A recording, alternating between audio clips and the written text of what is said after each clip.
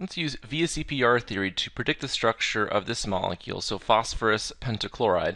So the first thing we need to do is draw a dot structure to show our valence electrons. We find phosphorus in group 5, so 5 valence electrons. Chlorine in group 7, so 7 valence electrons, and I have 5 of them. So 7 times 5 is 35, plus 5 gives us a total of 40 valence electrons that we need to show in our dot structure.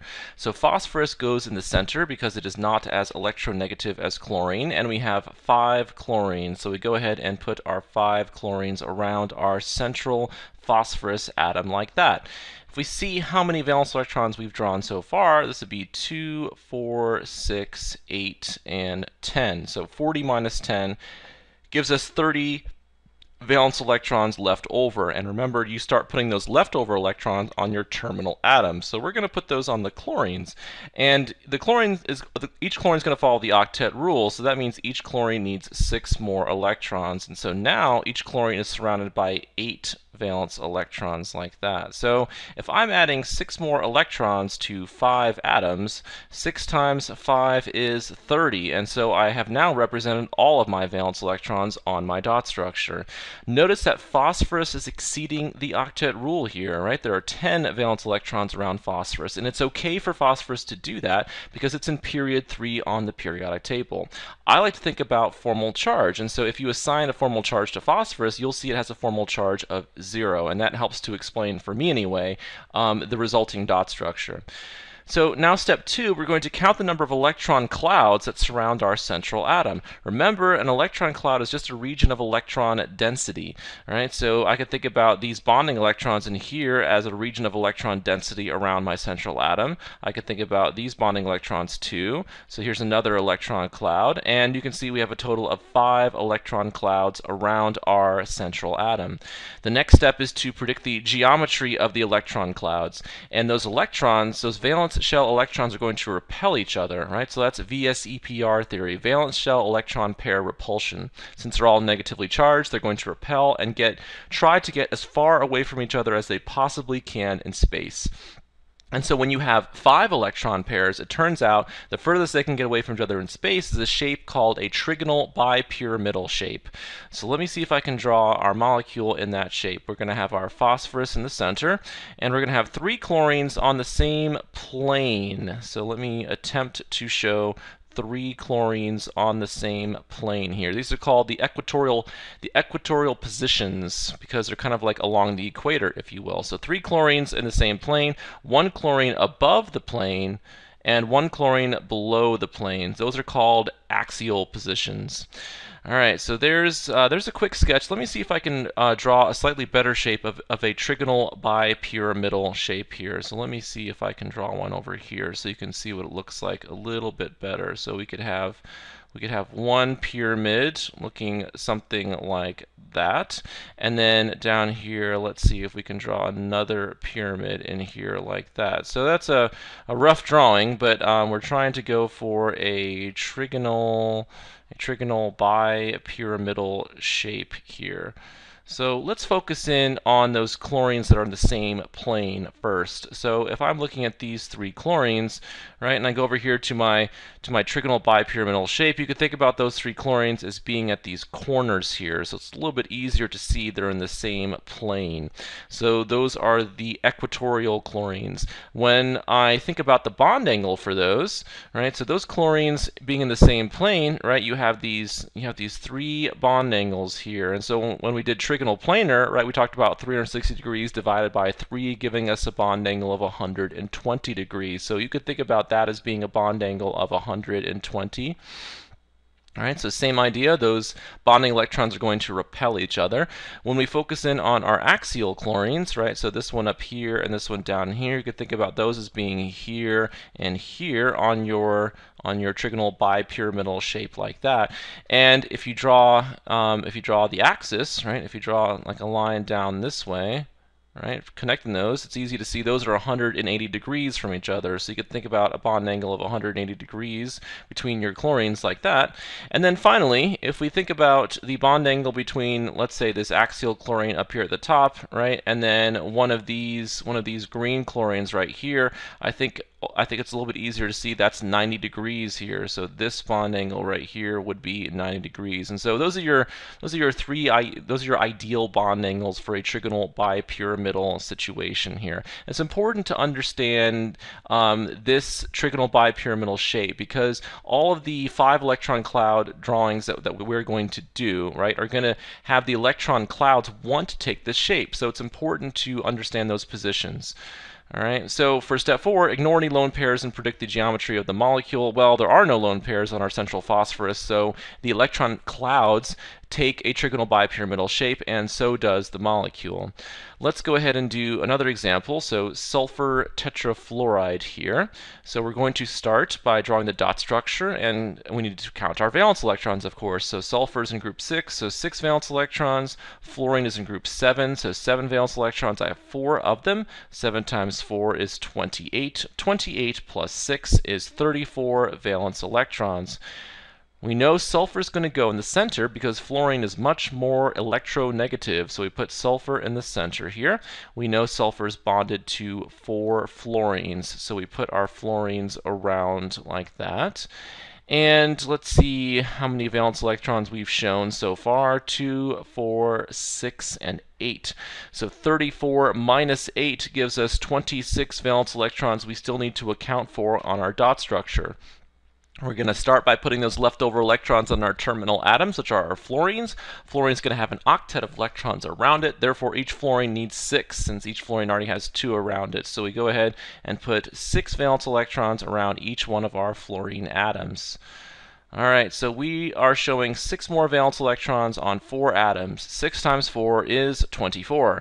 So 26 minus 24 gives us two leftover valence electrons. And remember your rules for drawing dot structures. When you get some leftover electrons, you're going to go ahead and put them on your central atom now. So we have a lone pair of electrons on our sulfur. And by adding that lone pair of electrons to our sulfur, the sulfur now exceeds the octet rule. But once again, it's okay for sulfur to have an expanded valence shell. It's in period 3 on our periodic table. And once again, I like to think about formal charge, and if you assign a formal charge that sulfur, it has a formal charge of zero, so that just helps me understand these dot structures a little bit better. So we've drawn our dot structure. Let's go back up and remind ourselves of the next step here. So once you complete step one, next is the electron cloud step, right? So how many electron clouds do you have surrounding your central atom?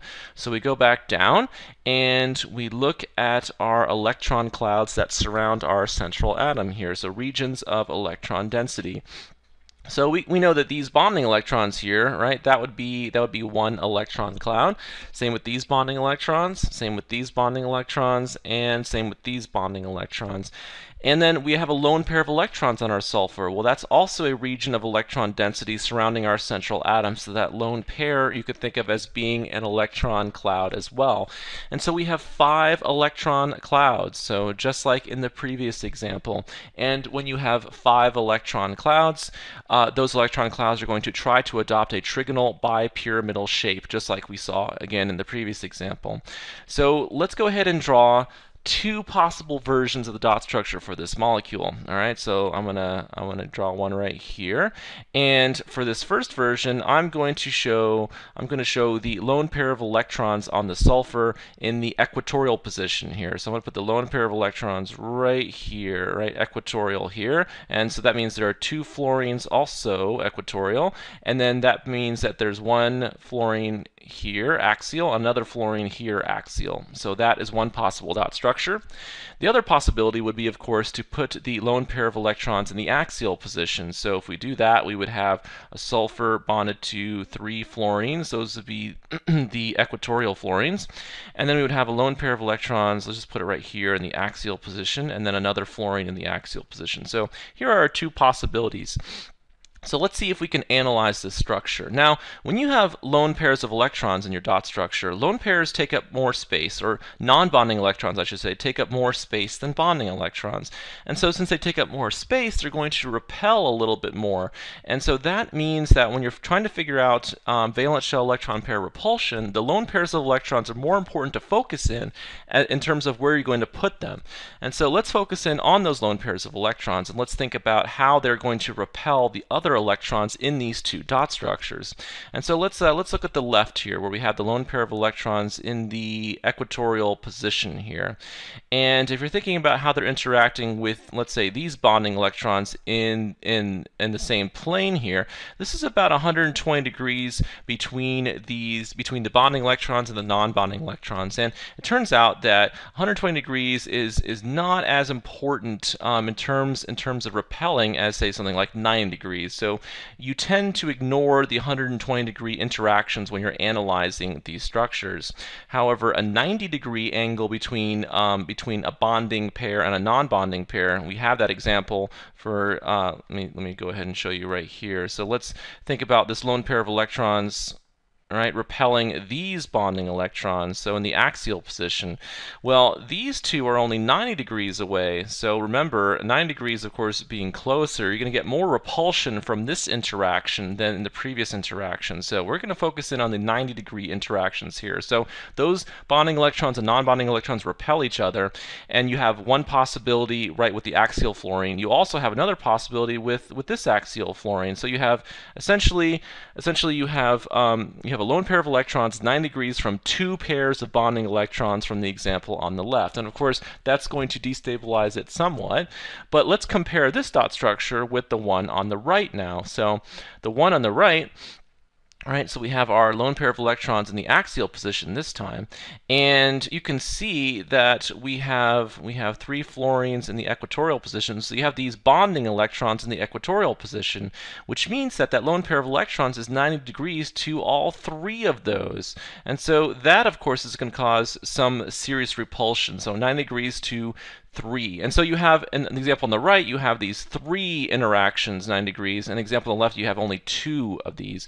And so the goal, of course, is to minimize electron pair repulsion. So VSEPR theory actually predicts that this dot structure on the left is the correct one. And so you're going to see in the next video that non-bonding electrons are placed in equatorial positions in trigonal bipyramids to minimize electron pair repulsion. So just think about putting your lone pairs of electrons in the equatorial position. So the structure on the left wins, so let's go ahead and redraw that so we can analyze it a little bit better. All right, so I have my sulfur in the center here. Let's go ahead and change colors. So I'm, I'm going to put the sulfur in the center. All right, I have my fluorine in the plane, in a plane, another fluorine in the plane, my lone pair of electrons in a plane. All right, so those are my equatorial ones. I have a fluorine this way and I have a fluorine that way. So when you're looking at bond angles, right? Of course, between this fluorine sulfur fluorine bond angle, eh, the ideal bond angle anyway would be 120 degrees, right? So we can say we would expect it to be 120 degrees. Um, if you're talking about this axial fluorine and this equatorial one, we know those are we would expect that to be 90 degrees. And then finally, between uh, the two axial fluorines, right? So this bond angle back here would of course be 180 degrees. Okay, so we've done a lot of uh, a lot of talking, and we still haven't even talked about the final name for the shape of this molecule, right? So let's go back up here and look at our rules really fast. All right, so we've done a lot of work to predict the geometry of the electron clouds around the central atom and draw it. And finally, we get to predict the shape of the molecule, and we do that by ignoring any lone pairs. And so let's go ahead and do that. So we're going to ignore the lone pair of electrons on the sulfur when we're talking about the shape. So if we ignore the lone pair and we actually turn this molecule on its side, so let's go ahead and do that. We're going to put our sulfur here. If we turn it on its side, the axial fluorines would now be horizontal. So those are my, so now it's horizontal like that. So I'll go ahead and put in my so these are what the, the two fluorines that used to be axial there, and my two fluorines that were equatorial they would look something like this. And it helps if you actually build this molecule with a Molymod set. So that, that would be what the molecule kind of looks like here. And we call this a seesaw shape, right? So this is a C saw shape or geometry. And let's think about why, right? So if you've ever been on a playground and used a seesaw, I'm going to draw a little kid here on one side of our seesaw like that. And so if the little kid puts his weight on this side, of course, this side of the seesaw would go down, right? And then this side of the seesaw would go up. So just a little bit of intuition as to why you would call this a seesaw shape. All right, so I think we've we've uh, we'll have to stop there, and the next video we'll we'll do uh, we'll do two more examples of molecules and ions that have five electron clouds.